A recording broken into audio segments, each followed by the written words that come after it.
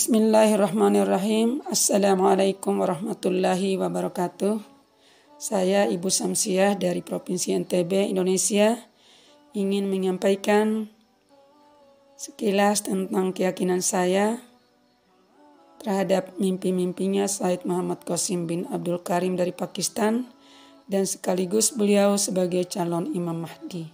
Dan saya tidak lupa mengucapkan rasa syukur kepada Allah Subhanahu wa taala yang telah memberikan kesempatan dan mengizinkan saya untuk menyampaikan perkara ini kepada rekan-rekanku sekalian baik yang sudah masuk anggota helper maupun kepada orang-orang yang belum mendengarkan sama sekali tentang informasi Said Muhammad Qasim bin Abdul Karim.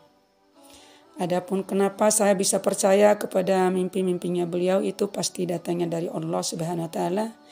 Karena semua mimpi yang baik itu sudah pasti datangnya dari Allah Subhanahu wa taala. Dan semua mimpi yang buruk itu datangnya dari syaitan. Apalagi mimpi didatangi oleh Allah Subhanahu wa taala dan nabi kita Nabi Muhammad sallallahu alaihi wasallam. Itu barangkali suatu hal yang tidak masuk akal bagi orang-orang yang belum mempelajari secara serius tentang mimpi-mimpinya Said Muhammad Qasim bin Abdul Karim. Yang kedua, semua isi mimpinya beliau bersumber dari Al-Quran dan Al-Hadis. Dan juga sangat sesuai dengan isi buku akhir zaman. Karena jauh sebelum itu saya pun pernah membaca buku-buku akhir zaman.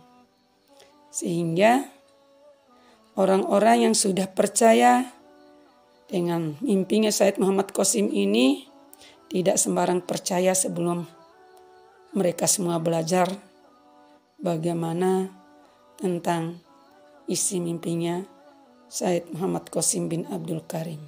Dan kepada yang masih belum percaya, itu bukan karena apa, Tentu saja karena mereka belum belajar. Dan yang kedua karena mereka semua selalu mengikuti ilmu yang pernah didapat sebelumnya, mengikuti pendapat kebanyakan orang, bukan mengikuti suatu kebenaran. Nah, memang hidayah itu tidak sekaligus datang kepada semua orang, tetapi hanya kepada siapa saja yang dikehendaki oleh Allah Subhanahu wa taala. Namun kita semua mari berdoa agar saudara-saudara kita yang belum percaya dengan mimpinya Said Muhammad Qasim agar segera, mendapatkan hidayah. Kalaupun masih ada yang menolak tentang kebenaran mimpinya Said Muhammad Qasim bin Abdul Karim itu bukan karena unsur apa, tetapi karena mereka sebagaimana yang disebutkan tadi, mereka belum mempelajarinya secara serius dan terkadang juga dibawa oleh nafsu, mengikuti nafsu kita. Kemudian bisa jadi karena dihijab oleh ilmu, karena kesibukan duniawi, karena jabatan dan kekuasaan. Jadi, saatnya nanti ketika kebenaran datang, kita semua tidak ada yang ingin jadi tersiksa. Tidak ada yang ingin masuk ke jurang yang tidak diinginkan. Insya Allah semua manusia Islam sudah mengaku Islam, semuanya berharap untuk bertemu dengan Allah Subhanahu wa taala di surganya nanti.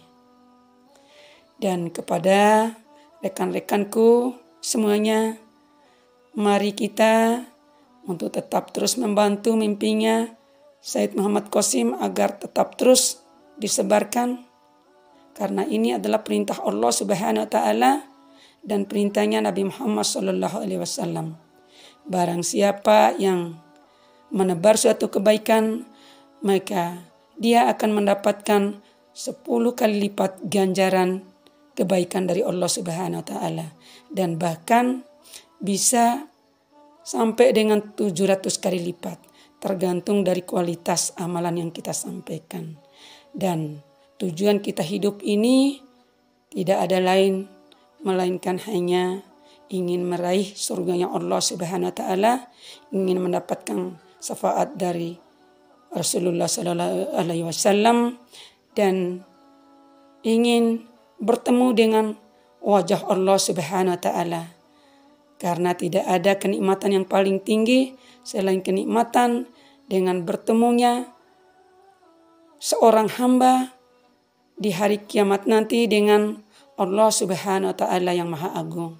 Sebagaimana yang dirasakan oleh Said Muhammad Qasim bahwa ketika beliau mendengarkan suaranya dan melihat nur ataupun cahaya di dalam mimpinya karena begitu dahsyatnya nikmat yang dirasakan itu tidak bisa digambarkan dengan apa pun di dunia ini.